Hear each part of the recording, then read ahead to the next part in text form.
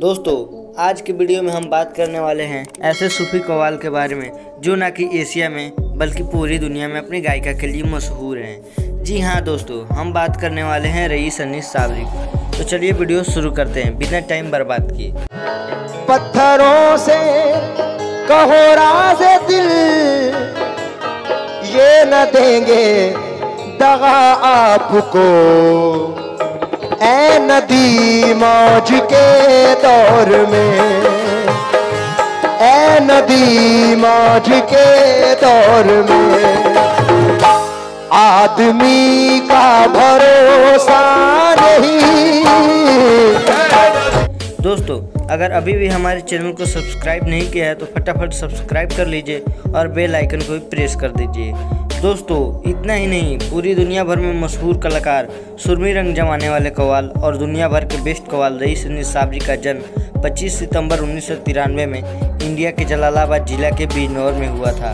और अगर 2022 के हिसाब से बात की जाए इनकी एज की तो अनिस साबरी का एज उनतीस ईयर्स हो गया है। अनिस साबरी चार साल की उम्र में ही सूफी कवाल का आगाज़ करना शुरू कर दिया। इन्होंने अपने पिता और दादा को कवाली गाना देखा तो इनको भी शौक हो गया। इन्होंने जो कुछ भी सीखा, अपने दादा असलम साबजी से सीखा, जो कि बहुत बड़े कवाल थे और बहुत जाने माने हस्ती भी थे।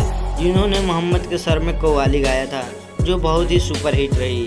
और आज भी इसको वाली को लोग दिल से सुनते हैं। इसलिए कहा जाता है कि असलम साबरी के पौधे और शिष्य भी हैं। रही सन्नी साबरी ने अपनी पहली परफॉर्मेंस छः साल की उम्र में ही दी थी। हालाँकि इन्होंने पहले से भी कवाली सीख रहे थे। इसलिए माना जाता है कि यह भारत के सबसे कम उम्र के सूफी कवाल में से एक हैं। इन्होंने जो पहली परफॉर्मेंस की थी, वो यूट्यूब पर 15 मिलियन प्लस व्यूज़ आए थे, जो कि बहुत ज़्यादा उस टाइम का रिस्पांस दिए थे। जो एल्बम है, चिश्ती रंग। रही साबरी शुरुआत में केवल अपने पिता के साथ प्रदर्शन करते थे, लेकिन बाद में उन्होंने अकेला परफॉर्मेंस करना शुरू कर दिया। वह ज़्यादातर रूप से अजमेर यानी ख्वाजा मैनुद्दीन चिश्ती के चिश्तिया रंग में गाते हैं। सूफी संत निजामुद्दीन और तेरहवीं शताब्दी के कवि अमीर खुसरो की परंपरा की पालन करते हुए। और 2003 में रईस ने सोनिक इंटरप्राइजेस के साथ मिलकर 35 हिट म्यूज़िक एल्बम दिए और 26 दिसंबर 2007 में, यानी 12 साल की उम्र में, इन्होंने चेन्नई में आमिर खुसरो संगीत एकेडमी और फ्रेंड्स ऑफ़ साउथ एरिया में परफॉर्मेंस दिया।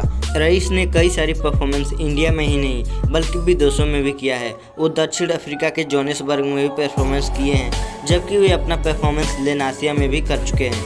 दोस्तों, अब हम बात करेंगे इनके अवार्ड्स के बारे में। जो इनको मिला है। साल 2006 में इन्हें एक उर्दू एकेडमी कर्नाटका की तरफ़ से अवार्ड से नवाजा गया था। ये एकेडमी भारत के शहर बेंगलुरु में है और साल 2007 में अमीर खुसरो संगीत एकेडमी की तरफ़ से अवार्ड हासिल किया है। दोस्तों, शायद आपको पता ही होगा कि रईस का यूट्यूब पर एक चैनल भी है, जिसका नाम अनिस साबरी ऑफिशियल है, जिस पर एक लाख छिहत्तर हज़ार सब्सक्राइबर्स भी हैं और इस पर अनिस ने ढाई सौ से अधिक वीडियो डाले हैं। इन्होंने अपना चैनल 2017 में क्रिएट किया था।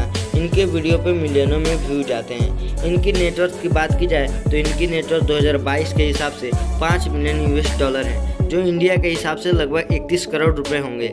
इनके कुछ हिट कव्वालियाँ भी हैं, जिनके नाम हैं, जमाने में मेरा कहाँ है ठिकाना। ये चिश्ती रंग रंग, अपने ही रंग में रंग दो साबिर, और कोई नहीं मेरे ख्वाजा के जैसा। ये बहुत ज़्यादा ही सुपर हिट कवालियाँ हैं। दोस्तों और भी हमारे इसी तरह के वीडियो देखने के लिए हमारे चैनल को सब्सक्राइब कर दीजिए और वीडियो को लाइक कर दीजिए। तब तक के लिए जय हिंद।